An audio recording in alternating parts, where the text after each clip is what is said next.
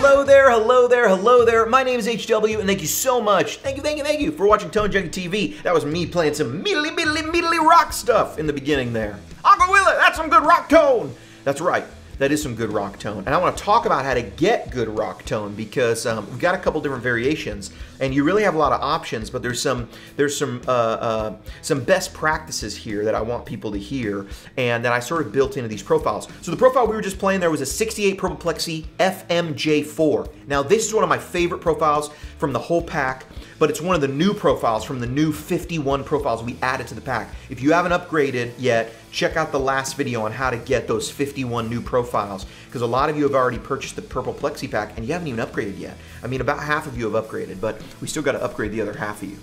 So right out of the gate, um, you will notice that I switched up some of the effects. In particular, I added this, this EQ that I'm calling lead EQ, rock lead EQ, we'll call it. And i will add to the Tone Tools. Give me a day or something. It'll be in the Tone Tools download. But you can see what I'm doing is in this profile. What I'm doing basically is I'm trying to actually get a brighter, cleaner, clearer tone. So the sound of this purple plexi is already really um, full and, and big. This is the full, the FM, full M meaning the greenback, the M magnet greenback, the, the 25 watt greenback here. So G12M. But we and we're on the J channel. We're on the jumpered, uh, uh, uh, you know, position of that of that Marshall. So the purple plexi just sounds thick and huge with this profile. So we want to go after a really singing rock sound. And one of the things we got to do before we add a bunch of mid-range, before we go slam it with a green scream or a Klon style boost in the front to get our real leady stuff out, what we want to do is make sure that we're not going to get too much frequency stack. So we maybe recorded the rhythm and now we want a, diff a little bit different EQ on our guitar for the lead. So what I'm actually doing may seem a little counterintuitive, but let's start here with the X slot. I'm actually taking out this ultra low bass, the deeps. I'm taking out this bass, I'm taking out some fullness. You can see how I'm doing that here. 4.1, 1.1 uh, decibels, you know, drops. I'm even taking out some low mids. HW, mids are where the guitar's at. That's true, but we're kind of going for like, we want that rhythm guitar to stick out, you know? And uh, we, we, we don't want to we don't want to get this frequency stack on it. So I'm actually cutting a little bit of this mid-range and adding some treble. And I'm doing that knowing that I'm about to add mid-range going in the front. So really quick, here's how this sounds without the X EQ and with the X.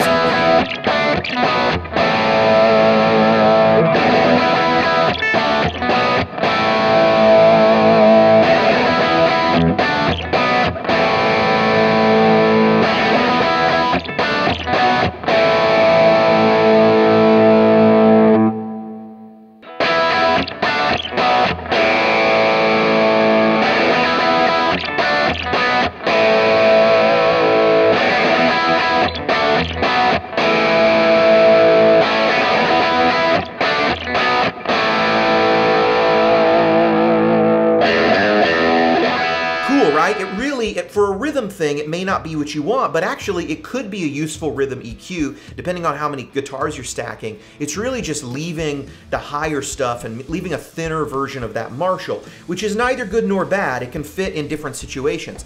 Now what I want to show you is um, that was with a rhythm. Now here, let's hear that lead sound with nothing in front of it because what we're gonna do is add a green scream and we're gonna add a green scream and an EQ that turns it into a clonny style thing. So before we do that, let's check out that X slot playing the lead all by itself. We can hear how it fits as a lead sound.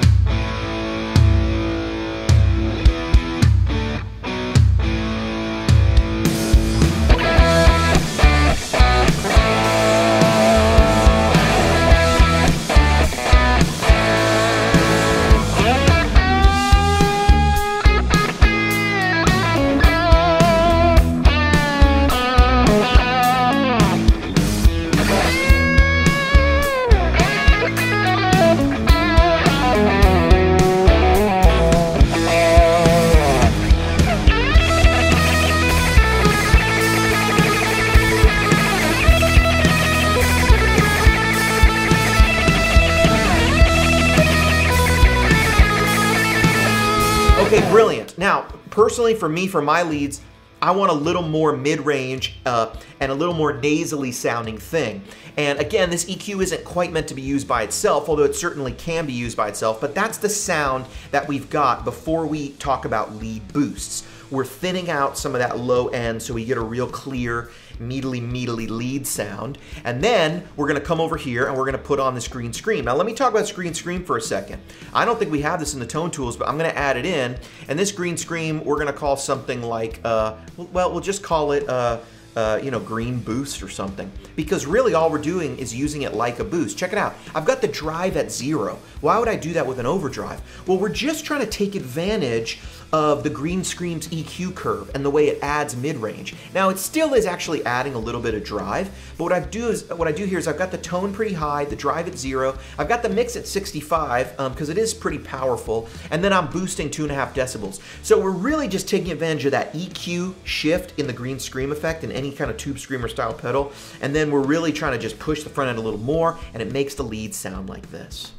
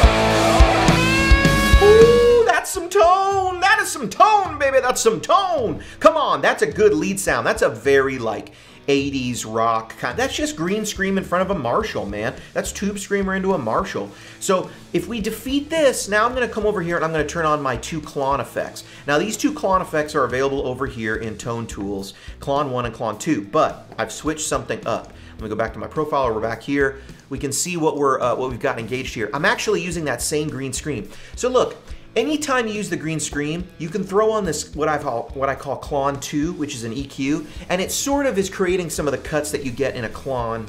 Uh, it makes it more reedy, more mid-rangey. It makes it more soundy like this. And I really like that. Whereas it, it sounds a little more what I would call reedy as opposed to nasally, if that makes sense. Uh, green screams are nasally, but they're a little fat, you know, it's like a thick nasal thing. Whereas Klons to me give a nice reedy quality that I like. It's almost like a stringed instrument, like a clarinet or a saxophone kind of thing. And I really dig that for lead stuff. So here is that Klon.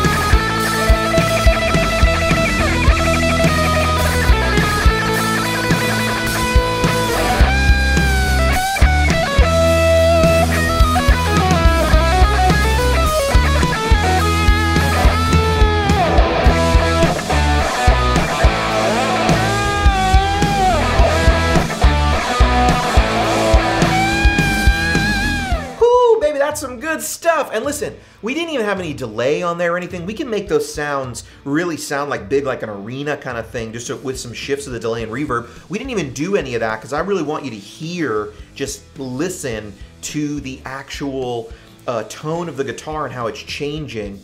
Uh, we totally could add more delay and verb. But hey, I want to let you guys know something. I'm going to add all these effects to Tone Tools. You're going to be able to download those soon. But hope you learned something The background track you just heard is I'm gonna we're gonna put that up too. So that's gonna be dropping very shortly, and uh, we're gonna have that because um, I've actually got a couple backing tracks that are that we're gonna start using some TJ stuff, and it's fun to play along with. So that is a great um, you know E major kind of thing. One flat seven. Uh, five, four kind of thing there. And, um, you know, it's really fun to play along with. So check that out. We're going to have some jam tracks coming up on the channel. You're going to be able to play along with that. In fact, I'll upload that uh, very, very, very soon. Try and get that up today or tomorrow. And uh, you're to be able to jam along with that. But that is how I approach rock lead sounds on the Kemper. Hope this has been helpful. Like, subscribe if you get anything out of the Tone Junkie videos. Thank you so much. The 68 Pro Plexi, it's on the link down below. Uh, Tone Tool stuff is in the link down below. And, uh, well, uh, that, that, that jam track's not out yet, but look out on the YouTube channel. My name has been HW. HW, and I'll go with it.